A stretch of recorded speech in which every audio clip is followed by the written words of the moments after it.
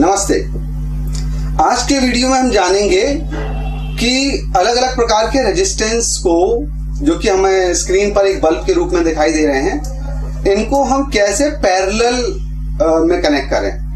Parallel को समानांतर क्रम भी बोलते हैं। तो पैरेलल में कनेक्शन क्यों किया जाता है, कैसे किया जाता है, इस पर हम सर से चर्चा करेंगे।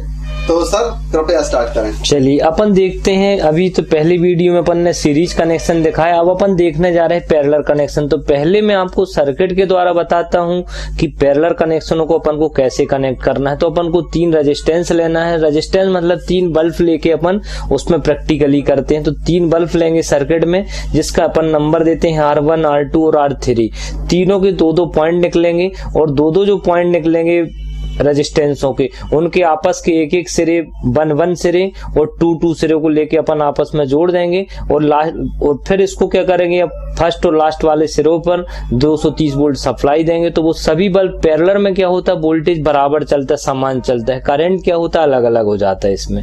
तो अपन सर्किट के द्वारा इसी तरीके से इसको देखते हैं कि आर वन आर टू के एक एक सिरे लेके आपस में जोड़ देंगे और वन वन वाले सिरे एक साइड जोड़ के उसमें 230 वोल्ट सप्लाई देंगे, जो अपने घरों पर कनेक्शन होते वो पैरेलल ही कनेक्शन होते हैं क्योंकि हर कमरे हर बोर्ड के पास न्यूट्रल और फेस बराबर होता है जिसको अपन समांतर क्रम पर भी बोलते हैं। सर इस डायग्राम में I one I two I three करके भी लिखा है वो क्या है जी करंट है। आई वन आई टू और आई थ्री करंट मतलब जो क्या होता है इसमें अलग अलग होता चला जाता है। इसके लिए सर्किट के द्वारा आई वन आई टू और आई थ्री करेंट को दर्शा रहा है एम्पियर जिसको अपन बोलते हैं आर रेजिस्टेंस को दर्शाता है और भी वोल्टेज को दर्शाता है।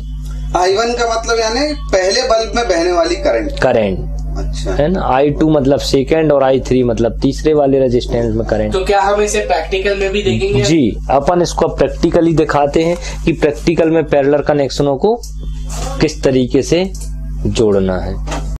इसमें तीन बल्ब लगे हुए हैं। तीनों बल्ब में अपन ने इसमें भी 40 40 वाट के बल्ब लिए हुए हैं। ठीक है ना?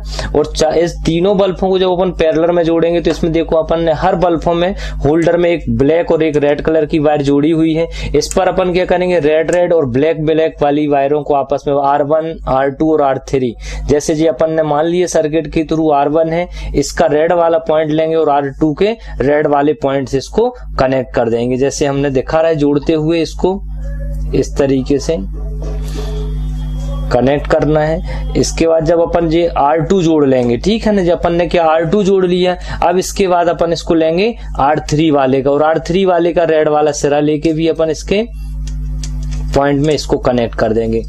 क्या यहाँ पे रेड और ब्लैक मायने रखते हैं? नहीं नहीं ऐसा कुछ भी मायना नहीं आप ब्लैक भी ले सकते हो रेड भी ले सकते हो।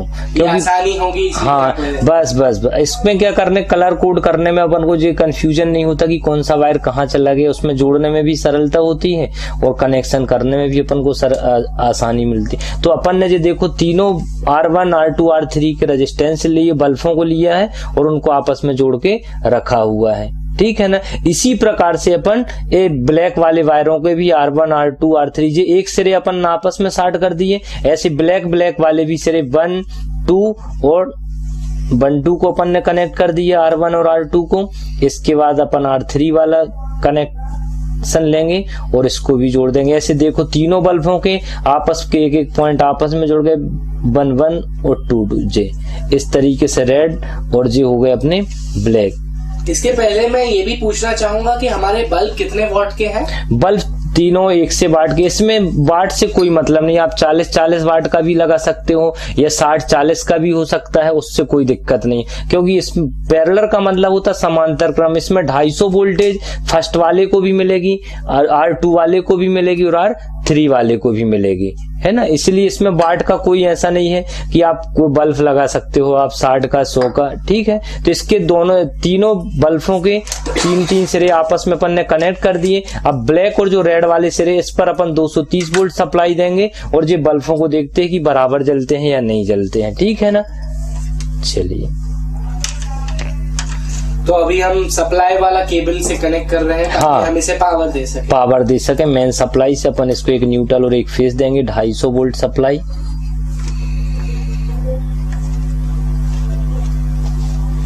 तो इस तरीके से इसको अपन जोड़ देंगे। एक एक सप्लाई और इसमें भी ऐसा कोई ज़रूरी नहीं कि ब्लैक और मैं फेस देना कि रेड में अपन किसी पर भी एक प्लस और एक माइनस दे सकते एक न्यूट्रल और जो पावर केबल से इसको कनेक्ट कर देंगे। जो यहाँ पर 230 वोल्ट सप्लाई। यहाँ सारे वायर्स को ध्यान से जोड़ना चाहिए ना वरना लूज कॉन्टैक्ट लूज हाँ शॉर्ट हो सकता शॉर्ट हो सकता है कई बार बल्ब जलने में भी दिक्कत हो सकती है इसलिए अपन इसका स्विच ऑन करेंगे और तीनों बल्बों को जोड़ देंगे। है अब जैसे कि आप देख पा रहे हैं सामने तीनों बल्ब पूरी क्षमता से जल रही है। है ना इसमें सभी बल्बों पर जो वोल्टेज है 230 230 वोल्टेज बराबर समान बह रही है वोल्टेज लेकिन करंट करंट अलग अलग चलता है पैरेलल कनेक्शन पर।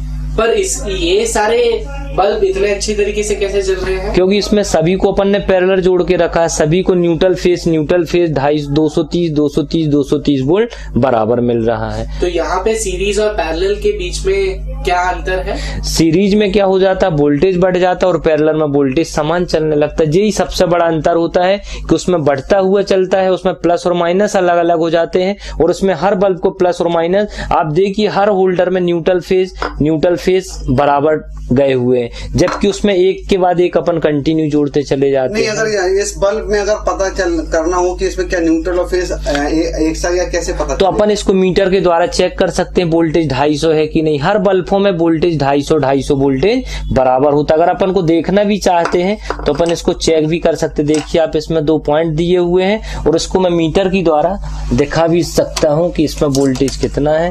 वोल्ट अपना मल्टीमीटर है इसको साढ़े सात सौ एसी में लगाना है और यहाँ पर अपन इसको एक प्लस और एक माइनस पर रखेंगे। जी, और इसमें जब काम करना है तो आपको सावधानी रखना कि आपस में कोई भी तार टच होना नहीं चाहिए। ये देखिए, मैंने दोनों प्राव एक प्लस और एक माइनस एक न्यूट्रल और एक फेस में रखी हुई है। यहाँ का वोल्टेज 250 ऐसे सभी बल्बों पर अगर चेक करेंगे तो 250 250 वोल्टेज बराबर बताएगा।